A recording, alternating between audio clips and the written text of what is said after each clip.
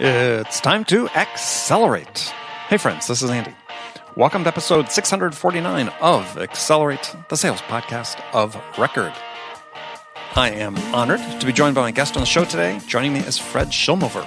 Fred is the founder and CEO at Insight Squared. And in today's episode, we're going to dive into the topic of using data to help drive change in your sales teams, your sales processes, you know, anywhere you have the imperative to make a change. Because this impetus for change can come from many sources and for many reasons. But be that as it may, increasingly now we have the data to help us learn what to do, to help us learn how to allocate our time correctly, you know, to focus our energies on the right accounts at the right time, they're going to have the highest likelihood to close. And in our conversation, Fred and I talk about what some perceive as perhaps as the dangers of, of data, leading too much reliance on data, let's say, leading to what some might call the mechanization of sales. But then we're going to dive into some best practices for how to use data to help manage, scale, and grow your sales team.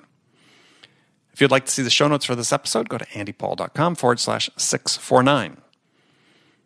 Now, friends, let me say that I do hear from listeners quite a bit, many that are looking for a new sales challenge and looking for advice. You know, what, what should they do? And I tell them that my way of thinking, the most important elements to career success are make sure you align yourself with the right company, you know, the one that develops its employees, invests in the development of its employees, values customers, and has a portfolio of category leading products that can compete with anyone. And so, with its recent acquisition of Level 3, the new CenturyLink has become a world leader in many segments, including cloud security and managed services. And so, if you're a top sales producer and you're looking to challenge yourself in order to take your career to the next level, then I urge you to visit CenturyLink.com forward slash accelerate and join their talent community and maybe see if CenturyLink is the right step for you and your career. Also, before I talk with Fred, let me remind you again about the upcoming Sales Leadership Accelerated Mastermind. We call that SaaS Slam for short. This is an accelerated mastermind for SaaS sales leaders. It kicks off on April 24th. Now, SaaS Slam is limited to founders, CEOs, CROs, and VPs of sales of high growth SaaS, companies only. I'm here stumbling over my own tongue. And we call it an accelerated mastermind because in just two days, you'll become better prepared to transform how you sell, how you scale, and how you develop the capabilities of your team to crush your goals. We want to thank our corporate partners who are supporting us on SaaS Slam, including Storm Ventures, Outreach, Chorus, G2 Crowd, and Membrane. Now, for more information about SaaS Slam and to apply for your place at the table, go to www.saasslam.com forward slash event one. That's S A A S S L A M dot com forward slash event one. All right, let's get into it. Fred, welcome to Accelerate. Really excited to be here. Thanks for having me. Oh, thanks for joining me. So, um, I, you know, I show with the same question that I asked my guests, and and the question is, in your opinion, what's what's the single biggest challenge facing salespeople today? Yeah, I think there's a lot of information, but not a lot of insight. So, uh, you know, obviously, big data has has been a, a, theme for a long time, and you know, the the amount of data keeps doubling every year. I forgot exactly what the right stat is, uh, but that doesn't mean that necessarily people are taking insight from that. And I think we're flooded with information, we're flooded with applications, um, but actually, how do we drive better behavior is something that I think is in short supply. Yeah, I mean, I think that that you're absolutely right on. This is a theme that I keep coming back to is is that we seem unprepared, let's say as a professional, certainly within sales, unprepared to use the data that's that's generated. I mean, it's, it's most of it, and I'm sure it's not the first time you've heard this, but you know, people fall prey to their confirmation biases. They look at this data and say, "Yep, that's what I thought." you know, you know, then as opposed to saying, "Oh, what's that really trying to tell me?" Yeah, I'll give you a good example. So, a lot of times uh, I spend a lot of energy uh, fighting rules of thumb. So, for example, mm-hmm. uh, with with uh, pipeline coverage. So, how much pipeline do I need at the start of every quarter in order to hit my number at the end of every quarter? And I bet if you ask a lot of people, you know, what's what your pipeline coverage should be, people say, you know, about you know three to one. Whoa, whoa, and, whoa, whoa, whoa! I, five to and, one, and I just heard I just heard a company say they needed eight to ten times, and I'm like, okay, are you, well, are you planning whatever, on closing it? Okay yeah, whatever the number is, uh, when we actually look at the d- data uh, quantitatively, historically, uh, it tends to be more. So back to your point about, about bias, people tend to overestimate their win rates, underestimate their sales cycles, uh, and underestimate how much pipeline coverage they actually have needed to hit the numbers they've hit in the past. So I spent we, we spend a lot of our energy uh, fighting rules of thumb. Here's another funny one, sure. and if any if any of your listeners do this, uh, please don't admit it to me. But uh, we work with organizations and. Um, uh, to help them understand their sales process and look for areas uh, to improve. And one of the things you want to look at, you know, sort of one of the basic fundamental metrics is conversion rate, not mm-hmm. just my my win rate, you know, how many opportunities did I win over the sum of total opportunities, but actually break it down stage by stage. And one thing that that sort of to me is like, you know, scratch scratching on a chalkboard is when I see people name their stages with percentages, you know, mm-hmm. st- stage 3 is my 50%, percent mm-hmm. stage five as my 90%. And uh, that doesn't make sense to me on a number of levels, which I can get into. Oh, but yeah. also, invariably, what happens back to that bias is when we actually go and look and aggregate what their win rate is from their 50% stage, it's typically 25%. Right. And their, their 90% stage is probably 60%. So people overestimate, and as a, as a result, that's, that's one of the reasons they fall short. Um, the other problem with that is the answer is much more nuanced, nuanced than something you can you can label with a you know percent stage. You know, it changes over time. It changes by this customer segment that you serve. It certainly changes rep to rep, and by uh, looking at things in sort of that blunt manner, um, again, all the data exists, but not all the insights are surfaced, and that's something that sort of uh, we feel pretty passionately about at Insight Squared. Yeah, I mean the expression I use when when you get these sort of weighted probabilities based on stage of of the uh, of the sales process, which is you know you can lay it out linearly. As as I say, well, it's like trying to measure probability with a yardstick, and you can't do it. Well, what do you what do you mean by that? Well, it's that everybody says, look, if again, if we assume we have sort of a linear process, you know, stage to stage stage, and yeah, we get to the proposal stage. Well, that's my ninety percent stage. Well, the fact is, you have three competitors. They're saying the exact same thing. You can't all have ninety percent probability of winning the deal at that point. Right. Nor, um, nor, nor you win ninety percent of a single deal. So right. So I'm saying is is just because you've reached a certain stage or a certain point, you've traveled a certain distance. That's what the yardstick comes. In. Just because you've traveled a certain distance in your your uh, sales process has nothing to correlate to probability. Yeah, one of the things we see, just sticking on this point for or this thread for one more second here, is um, you're right. On a single deal, that doesn't work. But when you have enough uh, of a pipeline to look at it in aggregate, mm-hmm. uh, there are organizations for whom this weighted pipeline approach works. Now, we add to it a, a couple uh, interesting nuances. For example, we look at the uh, conversion rates rep by rep. Mm-hmm. Uh, we take into account uh, the sales cycle stage by stage and likelihood of closing in this period. So, like, we, we, we not only look at likelihood of winning the deal ever, we look at likelihood of winning the deal this month, this quarter quarter, uh, and we overlay that across the whole pipeline.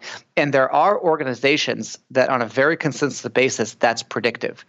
And the reason for that is partly the nature of their business. Uh, if there's less variability customer to customer, right. if there's consistency in behavior, um, so that transactional means to me volume of data. So yes, the the, the higher the, the larger the data set, um, the less margin for error from a statistical perspective.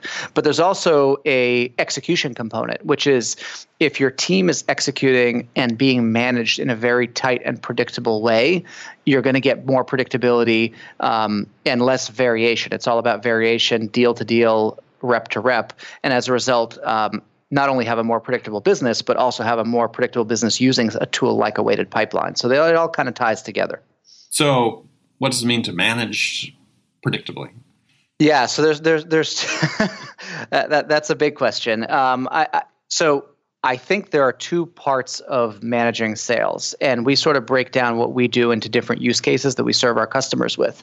And uh, two of the use cases are around rep individual management, you know, the coaching, the ramping, modeling success, all of that, performance management, and then the pipeline management. How do I sort of squeeze the most out of this very perishable asset that I have called pipeline? Mm-hmm. And the two things operate on very different cadences. Um, like ultimately, the result is we, we, we sell more, we're more successful. Um, but it actually, in, in, in, my opinion, makes sense to break the two out because the, the cycles of activity are different. So when you're trying to win a deal, you don't necessarily have time to identify, you know what, I see this rep is struggling with uh, negotiation.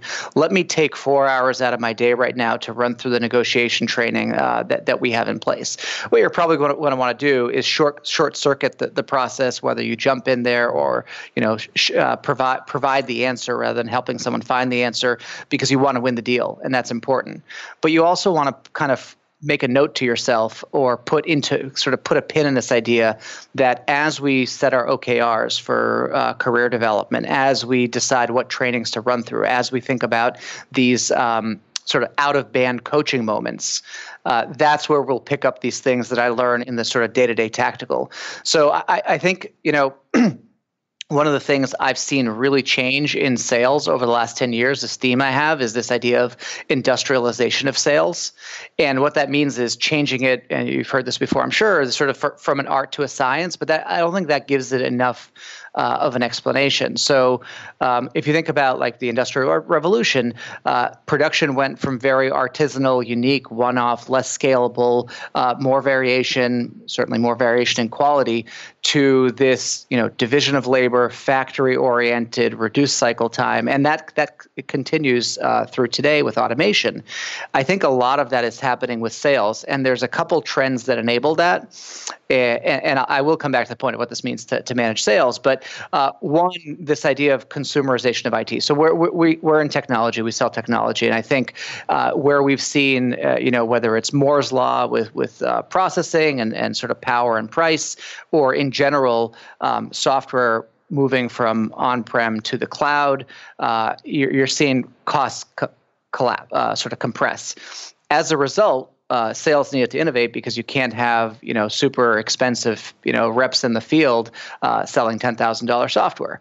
Um, and there's been a ton of innovation and movement from field sales to inside sales. Not the field sales is going away, but you know the the Bridge Group publishes uh, you know great great uh, surveys on the the change of job recs from field sales to inside sales over, over the last ten years, and it's been pretty dramatic.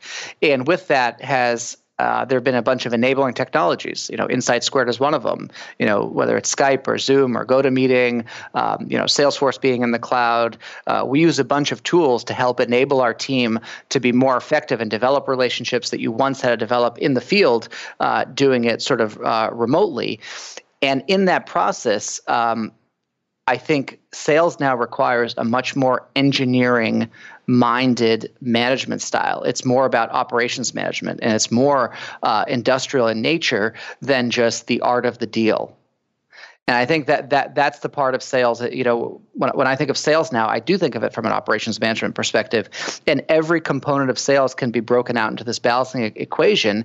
And ultimately, uh, it's almost an engineering function to design, you know, design this system, make sure that you have, uh, you know, the balance of the BDRs and the AEs and the pipeline and, um, the customer success team and, and all of the the roles supporting, uh, you know, sort of operating much like you would in a factory.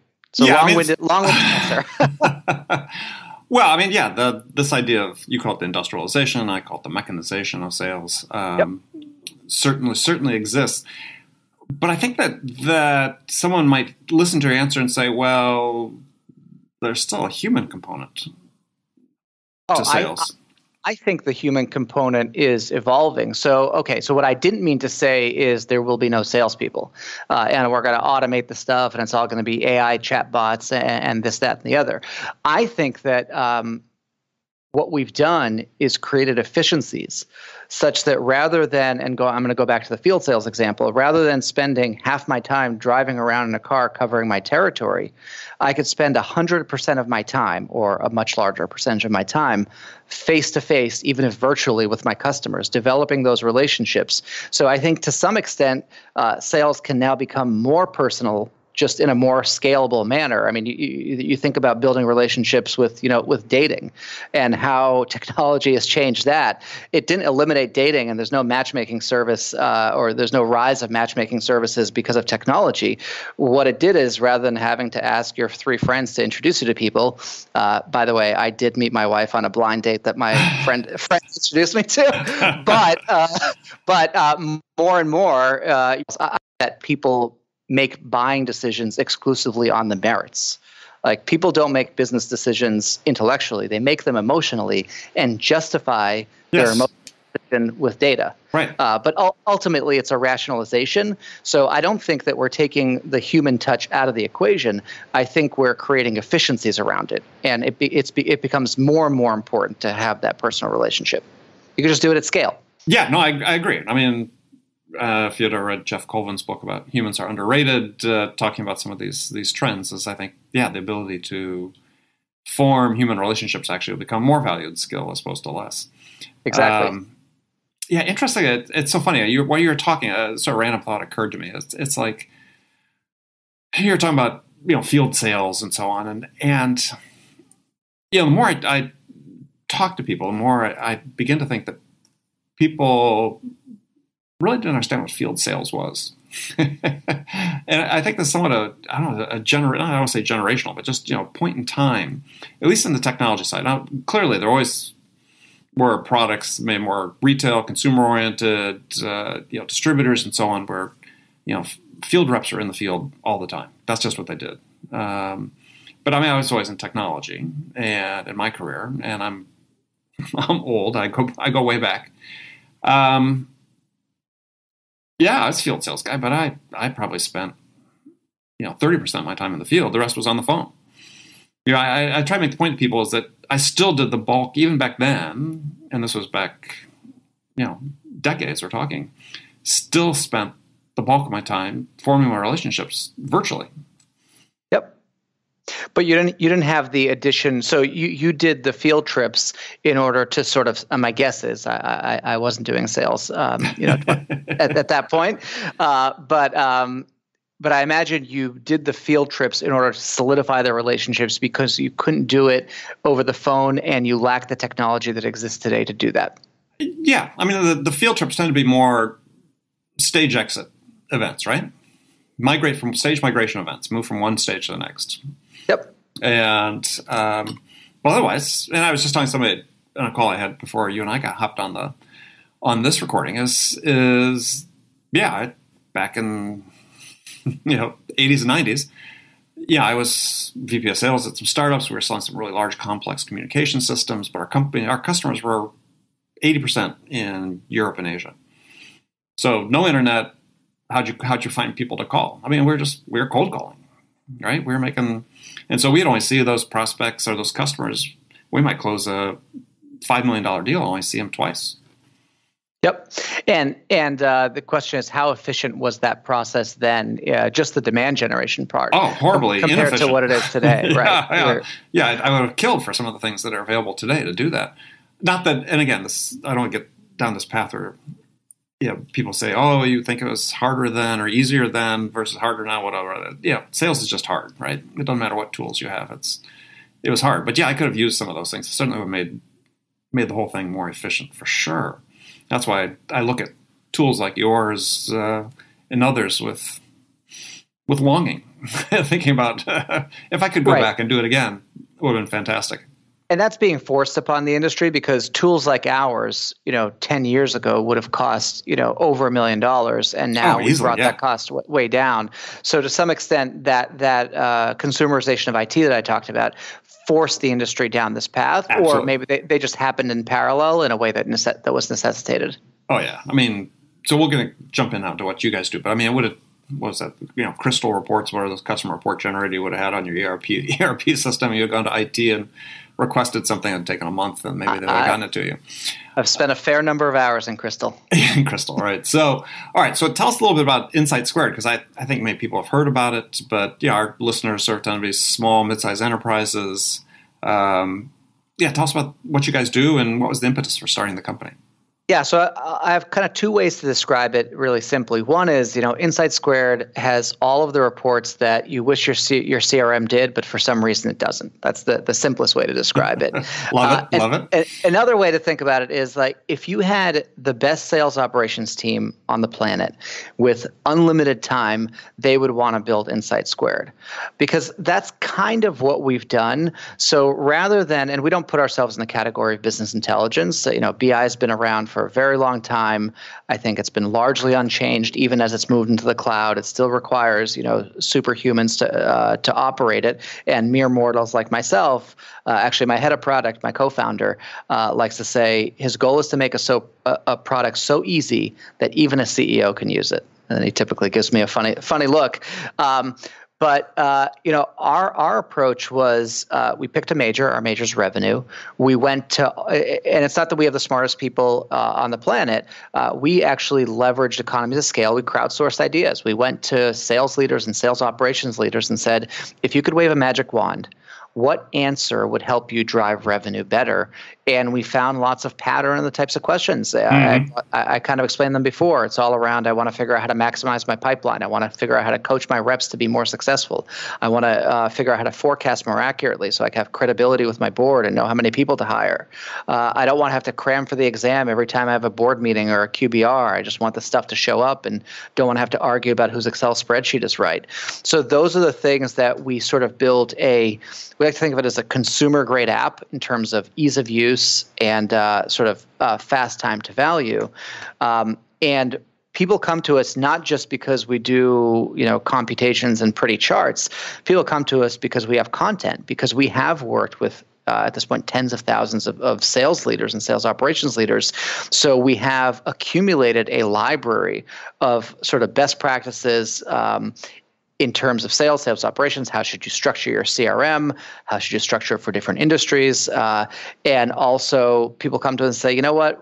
We're we're in growth mode. You know, one of the reasons you want to work with Insight Squared is because you have an imperative to change. If you're perfectly happy with what happened last year and you just want to repeat it again this year, then just repeat your activities.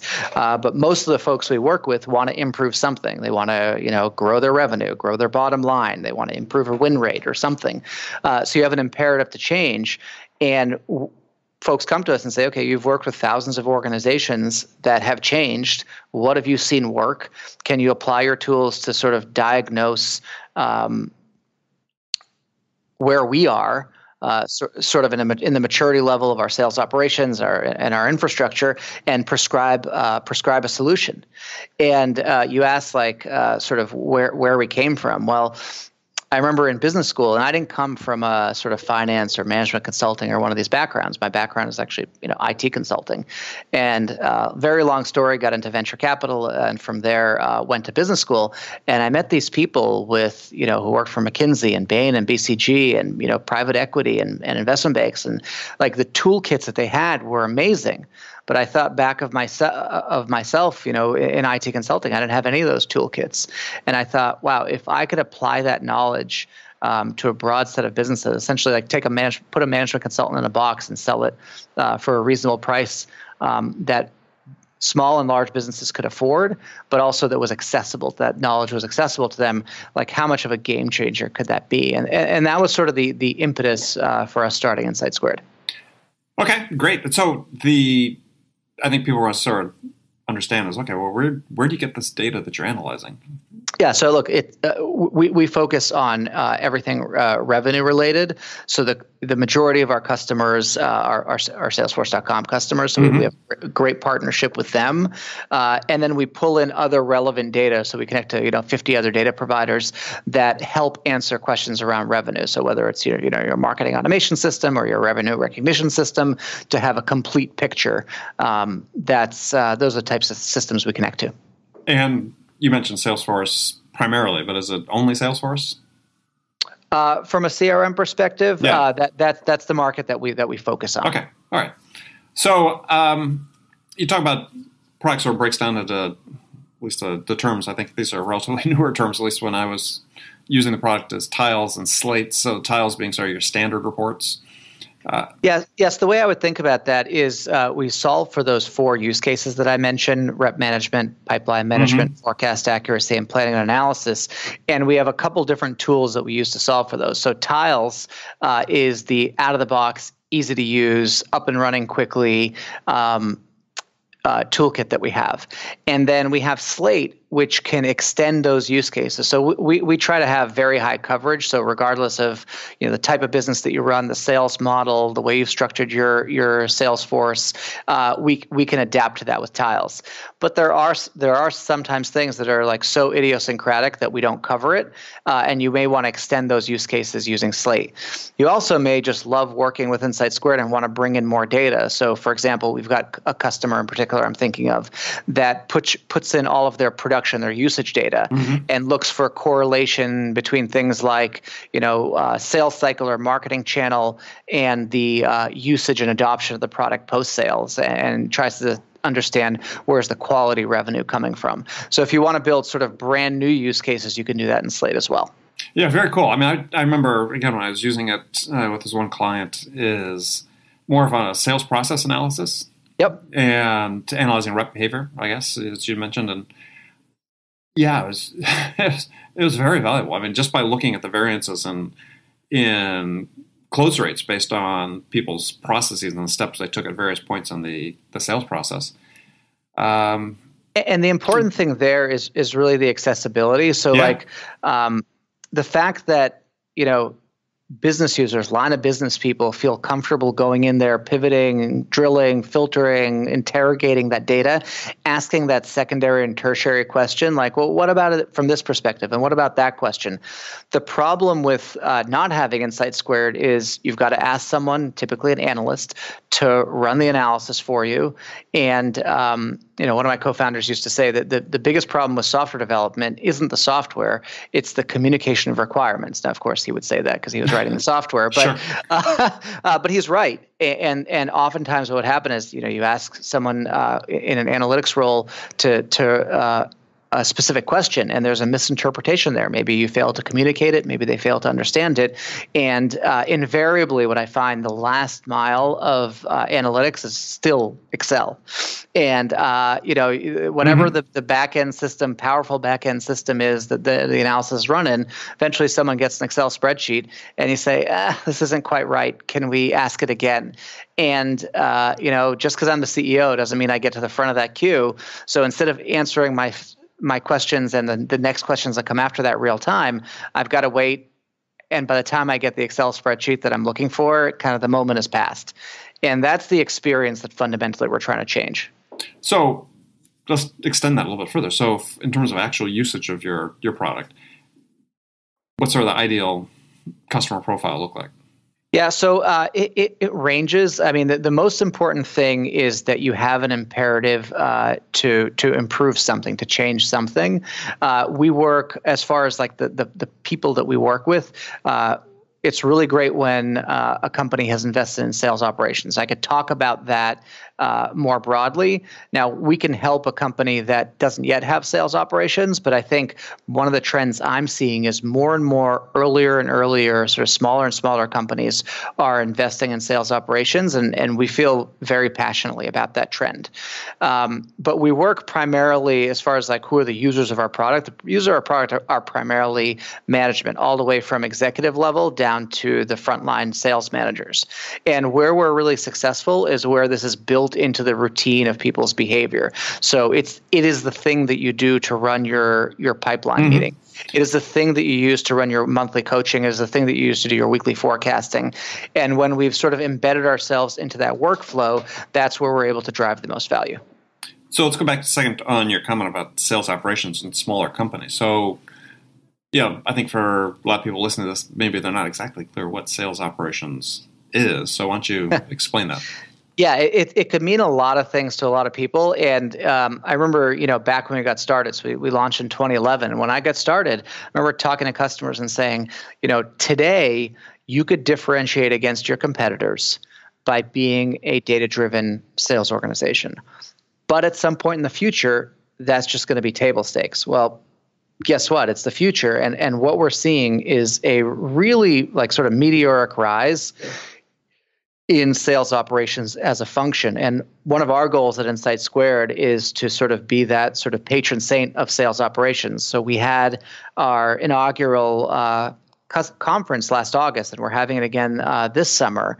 And it, you know, ostensibly it was a customer conference, but really what it was was all around uh, elevating the role of sales operations and the strategic value that they provide. So back in the day, so uh, to answer your question, what is sales operations? Uh, it could be the person that runs reports. It could be your Salesforce admin. Uh, it could be um, you know the person that does compensation and territory management. But what we're seeing is a lot of this stuff is rolling up into sort of one organization, and the other change that's happening is you know it used to be thought that um, you know marketing had the program budget and sales had the headcount budget. And uh, what we see, cha- and you know, it's for years now. People have been talking about what's your marketing stack look like. You know, mm-hmm. What do you mm-hmm. use for marketing automation? What do you guys use for, you know, this, that, and the other? And uh, now we're seeing the sales technology stack, which you know we, we want to be a clear part of uh, for as many organizations as as we could deliver value for. Um, but there's a sales technology stack that is owned by sales operations, and that role is broadening. So you know, I 10 years ago there were sales operations people, but but mostly at larger organizations. Um, now we're seeing it uh, earlier and earlier in a real sort of strategic career path for people um, to to to come up the ranks in, in sales operations. So one of our goals is to figure out how do we serve that community, how do we elevate them in the organization? Because where we see our with our customers, the greatest success, the fastest growth, the most profitability, whatever the metric is that you're looking at, is when you have a strong sales leader who thinks about the system like an engineer would and paired with a sales operations leader. And and you know we, we had Mike Wolf, who's uh, SVP of SMB sales from uh, for North America from Salesforce.com, speak at Ramp last year, and uh, he spoke with his partner in sales operations and they went back and forth and talked about how they partner and how they work together to drive more revenue. That's a trend i think we're going to start seeing where uh, sales leaders could travel in pairs with sales operations leaders and we're seeing more and more of that happening at earlier and earlier organizations. So, you know, I, I don't think five years ago a sub 10 million revenue company would have sales operations. Where now we're seeing it, you know, even even smaller than that. So, you know, my challenge to folks would be think about when can you afford that specialization, that division of labor, and if you think you can't afford it, uh, I would reconcile that with your with your growth objectives. If you have aggressive growth objectives, you're going to want to pull that investment back even further earlier. Yeah, well, I think that once you get outside sort of the tech bubble and where you know small companies have you know unusually large amounts of money to spend and invest in things as opposed to you know sort of standard entrepreneurial startup five ten million dollars in revenue been in business for five ten years. Yeah it's a harder calculation for ceo to make right? I mean they're, they're still saying how do i justify hiring this next salesperson I guess, but but think about and and I realize this, this is a, a frequent argument made, but just think about the efficiency that you create for the team that you have. So if you have, you know, even ten salespeople, um, if you could, you know, increase their pro- productivity by you know ten percent, that that function pay, pays for itself, and we I, I, see clear path to having that kind of uh, incremental uplift. Well, so where do you? And I'm you know, this is just for information purposes, not arguing the point is, is, but tell people where you think you see the, the uplift coming from that role. Let's say, you know, 10 person sales team. How does a sales ops person elevate the productivity? Uh, I mean, so there there's a, a, broad array of things. First of all, allocating people's time correctly. So that one of the most expensive, I mean, the most expensive uh, element of sales is is, payroll and, and, and commissions. So if you can make better use of people's time by figuring out, you know, what are the successful people doing and how do you replicate that success? Uh, and then uh, it's not just about activity; it's also around are you executing your sales plays against the right accounts? Are you responding to the to the right inquiries? Uh, so looking uh, and, and again, this this this is something we try to enable very easily, is looking at the, at the same thing from lots of different perspectives. And to me, analytics is all around identifying trends, finding anomalies, and, and understanding them better. Um, and, and, sort of uh, you combine those two things with investigative work, and now you could drill into one of those things. So you know we we have a particularly high conversion rate um, in these types of accounts. Well, what makes those accounts similar? Can we find more accounts like that? Can we market uh, to businesses like that because we have a you know a, a great fit there?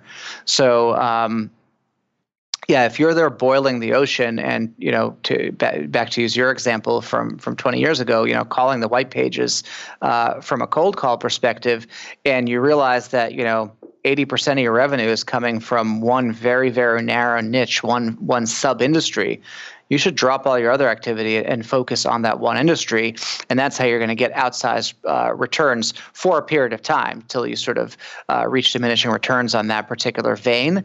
But that's the type of d- sort of strategic decision making that sales operations can offer. So you're not your team is not just banging their head against the wall because you know sales like baseball is is a game of misses, right? Like you can you can strike out six out of ten times and and uh, and be a Hall of Fame hitter. Um, and it's the same thing in sales. So it, it's a game of misses. If you can narrow those misses by just a small margin, it's the difference between uh, you know losing your spot and being an all star. I agree, and I think that I love the phrase "the game of misses," just like similar to golf. People talk about the same thing. Is is um, I think people listening to this, that's what Fred's talking about. Is for you really to understand is that you know we're in a world where increasingly we're specializing the roles within sales, and you know sort of traditional sales leadership within a small business is they think they have to do everything. And by trying to do everything, you're not doing anything really well. And this is, and so I think what Fred, if you're listening, is you know making the case is that we really need to analyze. Yeah, if we're going to try to improve our output, our outcomes, improve our outcomes, increase our productivity. Yeah, it's okay for your VP of sales not to be the analytical type because there's other things other things they can be doing working with your team coaching mentoring the people professional development uh, deal coaching that can help outcomes as well yeah, you said two things there. One is the specialization that you just described. The other one I couldn't emphasize anymore is focus.